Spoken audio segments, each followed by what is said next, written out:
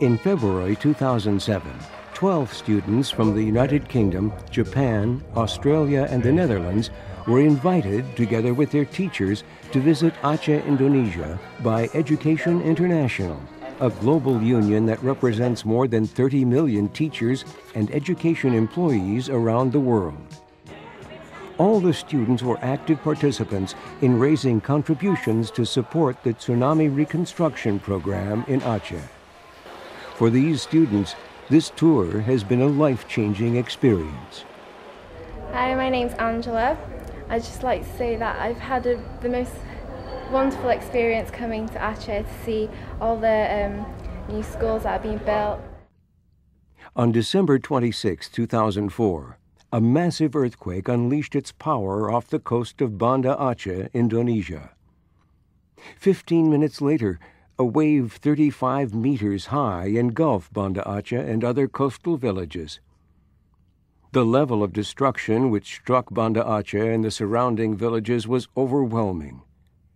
It's estimated that at least 220,000 people died in Aceh, more than 20,000 being children. Approximately 2,300 teachers were killed and 1,700 schools were damaged. 100,000 homes were lost, as were the livelihoods of many people who lived along the coast. While the world's lens may have changed focus, Education International remains committed to helping the children and improving education. This is something that all member organizations can be very proud of. There have been media reports that state donations are being inappropriately used. There is no validity in any statement which associates Education International or Oxfam with such practices. On the contrary, a great deal has been achieved by EI despite the extremely difficult circumstances that surround the reconstruction process. Mr. Jerome Fernandez is implementing and coordinating the EI Oxfam Tsunami Reconstruction Program with a small staff of only six people. Education International agreed to build 28 schools in Aceh and uh, my task was to make sure that the 28 schools were built within the time frame given to me. When he came to Aceh a few weeks after the tsunami, he had to face many challenges to meet his task.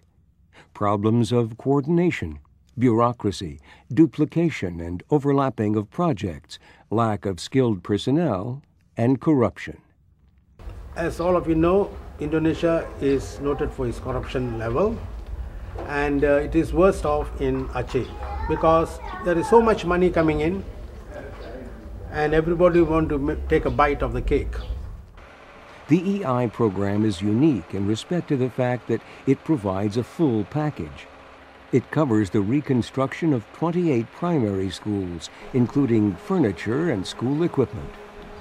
The schools that we have built are child-friendly schools with facilities, with computers, with teachers, and uh, we are very proud that Education International can make a small contribution uh, to this catastrophe that took place.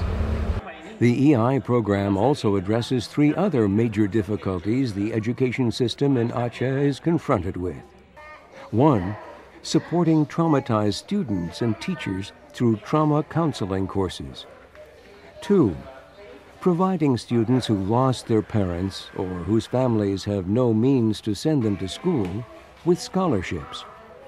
Three, compensating for the loss of a whole generation of trained teachers through teacher training.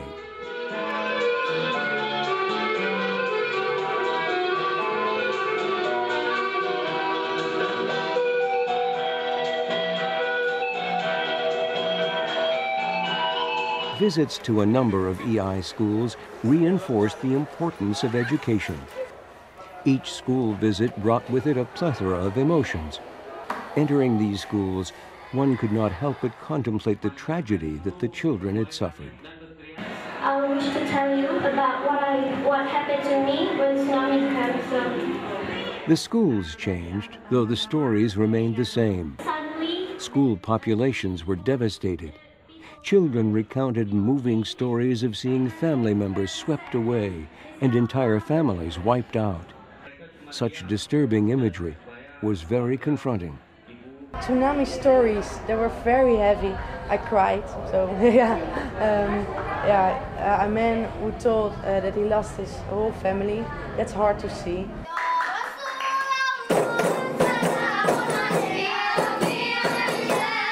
The inspiration the children provided to the international students was immeasurable.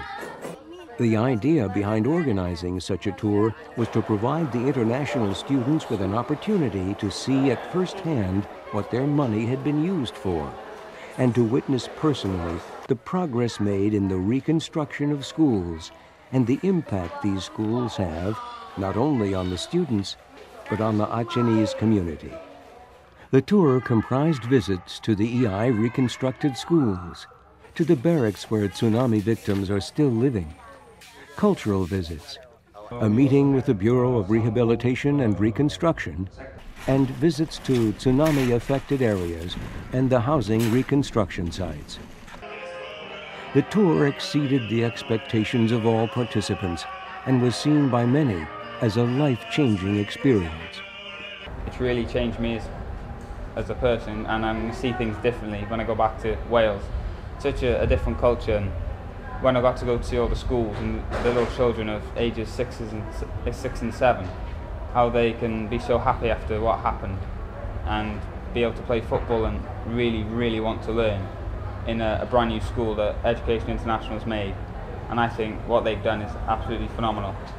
This student tour has been a great success. It has provided an opportunity for young people to view the beneficial impact which well-planned, well-organized assistance based on collaboration and cooperation between people can have, even in the most difficult of circumstances. Education International's vision it was to provide uh, education for all by the end of uh, year 2015. Um, you cannot put a price on education. In most cases, it is not the job of trade unions to rebuild schools. But this was an exceptional situation, and extraordinary challenges need extraordinary work. This has been done here by Education International.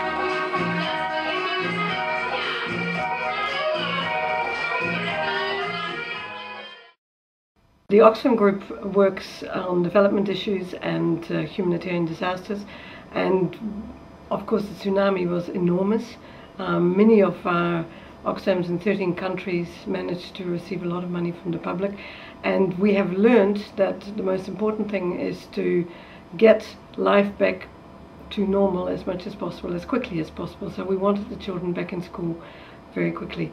We've worked with Education International for many years on Education for All, um, a big campaign to get more money and more schools and more teachers. And also in Kosovo and other disasters, we have um, cooperated very well.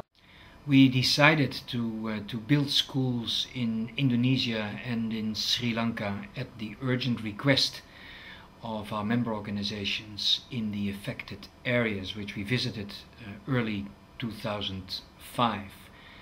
Education International and Oxfam uh, Novib worked together closely to help achieve education for all children in 2000 by 2015 one of the most important millennium development goals.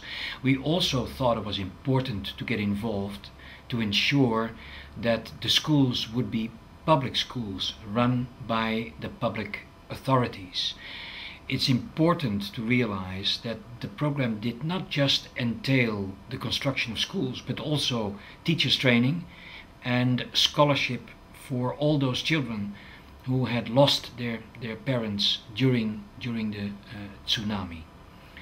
We have received many, many uh, uh, generous contributions from member organizations, schools, uh, teachers, students, from all over the world.